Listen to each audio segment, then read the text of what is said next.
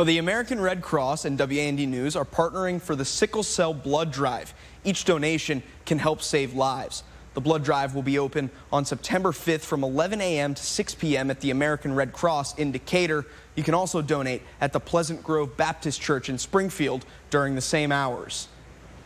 The need for blood is constant. Uh, about every two seconds, someone in the U.S. needs blood, and the Red Cross is responsible for about 40% of the nation's blood supply. And so, when you do uh, go ahead and say, Yes, I will roll up a sleeve, you're potentially helping to save a life. Uh, it could be someone uh, with sickle cell disease, it could be someone with cancer, somebody who may have been in a bad car crash.